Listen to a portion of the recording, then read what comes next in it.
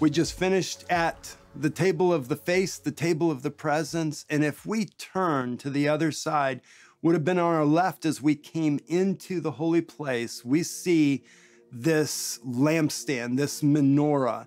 It, it, it's it's made up of gold. Almost all of the other pieces they have wood that's covered with gold or wood that's covered with bronze, but this piece it had to be made of gold, a, a pure talent of gold, 75 pounds of gold. Now I, I encourage you, go and look up the equivalent in today's money, how much this lampstand cost. Millions and millions of dollars for this lampstand, but it couldn't be made in the normal way. If you were going to make something with many parts, it wouldn't be unusual for an artisan to, to make maybe some of the branches and then put the branches together with the other branches and put them onto the central post. But God says very clearly, no, it has to be one thing of gold. You have to take the whole talent, it all has to be melted together and it all has to be formed together. It, it, can't be multiple parts put together. It's one piece, it's only one piece, and it's all formed out of the one thing because of what it represented. Now, this lampstand, again, is something that's found in heaven. This is one of the easier ones to find. It's found all over in Revelation. There's seven lamps of fire that the Lamb of God was sitting within. It's this lampstand that represents the seven spirits of God. And we mentioned in another video about how Isaiah 11:2 tells us the seven spirits of God, but it's the sevenfold spirit of God. It's one God, one spirit, and yet it's seven. It's not seven different spirits, but it's one spirit who is seven. And this is so important for us to understand. It's one piece of gold.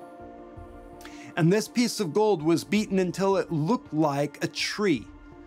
It, was supposed to look like branches and a trunk of a tree. And, and, and, it was made so that it would have calyxes, which are kind of when the leaves are surrounding a bud before it opens up and you can see the bud.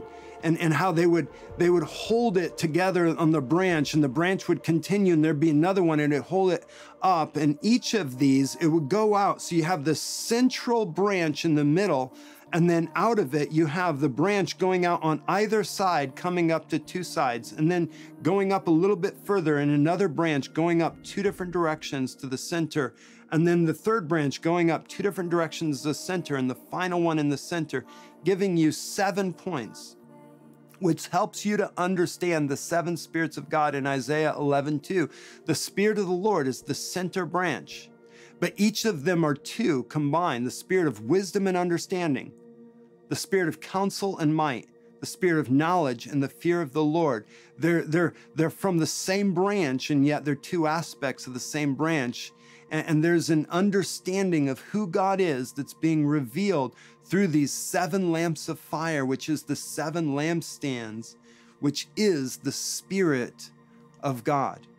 This is the place where we start to get revelation. This is the place where the light of God and the Spirit begins to speak, begins to reveal, begins to open things up so that we can see God, we can see His ways, we can understand Him in ways that we couldn't before.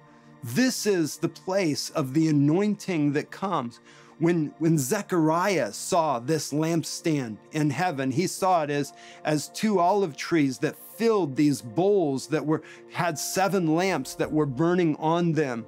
And, and there was this pure olive oil that was being poured out. And so this lampstand had to be pure olive oil that had to be the, the purest oil, that there were no impurities because he is holy spirit. There is no impurity in him whatsoever.